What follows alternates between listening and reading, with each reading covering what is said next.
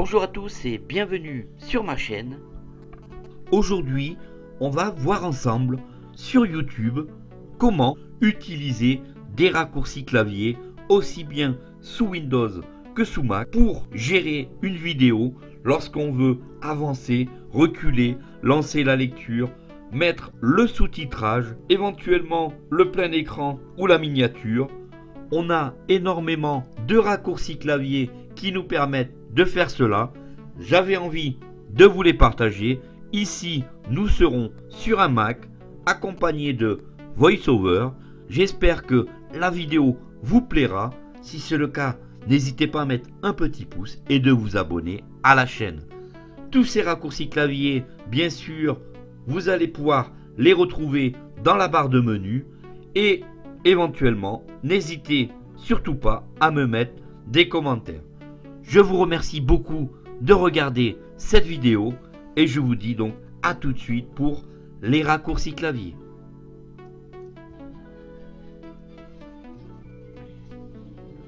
On va tout d'abord tout de suite lancer YouTube. Option S pour Safari, sortir favori, Safari. fenêtre, youtube.y. Une fois que nous nous sommes rendus sur la première page d'accueil de YouTube, on va par exemple lancer une vidéo et voir ensemble l'intégralité des raccourcis clavier YouTube. Alors, aussi bien compatible Windows que Mac. Et vous allez voir que il y a quelques raccourcis clavier qui servent énormément lorsqu'on veut regarder une vidéo en travers, se déplacer à l'intérieur à volonté et on va même avoir la possibilité par le biais de raccourcis clavier, on va pouvoir afficher le sous-titrage. Allez, on lance la vidéo.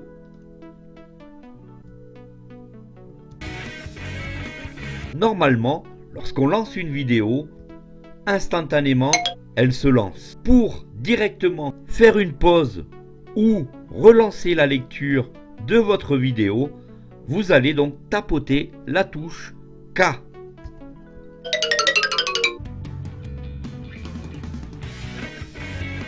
La touche K va vous permettre de faire lecture pause. Éventuellement, vous voulez passer le titre et voulez avancer de 10 secondes en 10 secondes par rapport à la lecture de la vidéo. Ici, on va lancer la vidéo avec K et on va appuyer sur la lettre L. L car on va avancer de 10 secondes. Ici, je vous mets le temps de la vidéo qui dure 11 minutes 50 et on est à 0,27 secondes. Si j'appuie sur la lettre L, vous allez voir que on avance. 10 secondes en 10 secondes. Maintenant, je voudrais reculer de 10 secondes en 10 secondes. Ici, je vais appuyer sur la lettre J.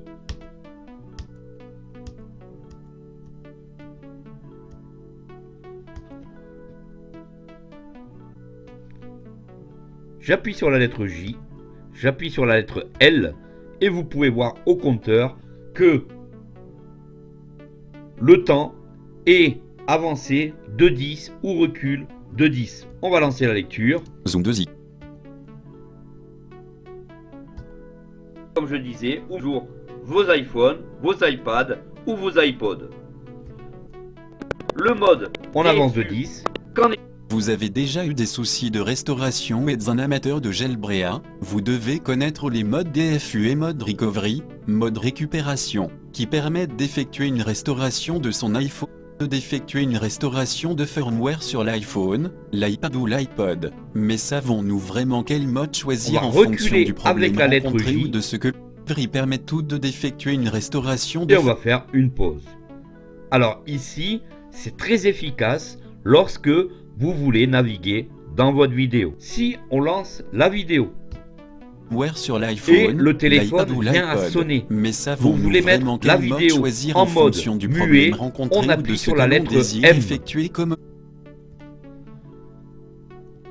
image, lecture vidéo, ici, vous allez voir, je rappuie sur la lettre M, on active ou désactive le son de la vidéo.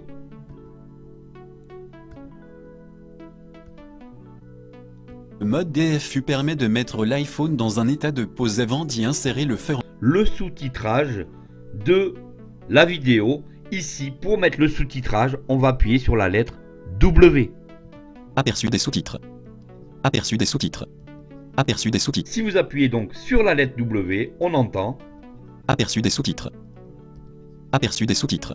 ici, en appuyant sur la lettre C, Français, généré automatiquement. Cliquez sur pour accéder aux paramètres. Français, généré automatiquement. Cliquez sur pour accéder aux paramètres. Français, généré automatiquement. Cliquez sur pour accéder aux paramètres.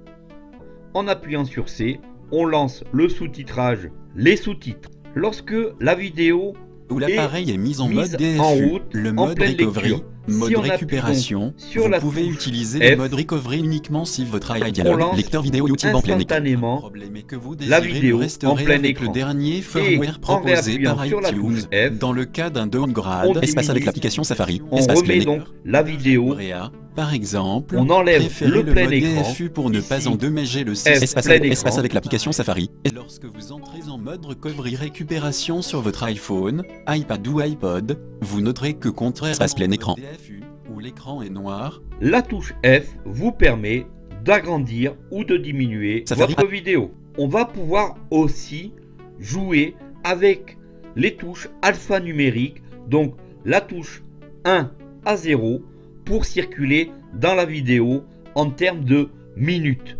Ce qui veut dire que on va se mettre sur le compteur et si je vais mettre par exemple la touche 0 alphanumérique, donc au-dessus de nos lettres, on va se mettre en tout début de vidéo. Ici, on vient de se mettre en tout début. Si je lance la vidéo, K, M. Différence entre les deux modes de restauration. on voit que on s'est mis au tout début. Par exemple, si je vais appuyer sur le chiffre 3, on voit bien ici qu'on est avancé de 3 minutes 33. Si je vais appuyer sur le chiffre 4, on avance donc de minute en minute. Je vais appuyer sur le chiffre 1 et je reviens donc à 1 minute 11. Ce qui veut dire que si je vais appuyer sur la lettre 0, Ici, on s'est positionné au tout début de la vidéo. Zoom 2x. Donc, les chiffres de 1 à 0 nous permettent d'avancer de minute en minute. On récapitule très rapidement. La lettre K, lecture. La lettre L, avance de 10 secondes. La lettre J, recule de 10 secondes. La lettre M, on met notre vidéo en mode muet. La lettre F, Dialogue, lecteur vidéo YouTube en plein on écran, met espace. la vidéo en plein écran, on rappuie sur F, on enlève le plein écran. La lettre W, aperçu des sous-titrages. La lettre C, 7. Vidéo. Aujourd'hui, regarde, on va voir les. Explication. Aujourd'hui, on 2. Explication 2. Pour 2 mètres. donc la lettre C permet d'avoir le sous-titrage et en plus vous allez avoir la lecture avec VoiceOver. Et ensuite les chiffres au-dessus de nos lettres, lorsqu'on appuie sur 2, on avance Gradin. Passé. de à deux 100 grave. minutes. Une. Version sur la antérieure. lettre, Ou sur le chiffre 6, on avance version de 10. 6 minutes, etc. Voilà donc, la vidéo est terminée sur les raccourcis clavier de YouTube, aussi bien compatible avec Mac que Windows. Vous allez donc pouvoir rapidement terminer par exemple une vidéo ou la lire en diagonale, avancer très rapidement sur la lecture de cette Ouest. vidéo sortir. ou reculer très rapidement sur celle-ci si vous avez raté un moment donné de la En vidéo. Vendée. Il. Voilà donc, moi je vous remercie beaucoup d'avoir regardé cette vidéo jusqu'au bout. N'hésitez pas à mettre des petits commentaires sous celle-ci. Et je vous dis donc à bientôt pour la prochaine. Salut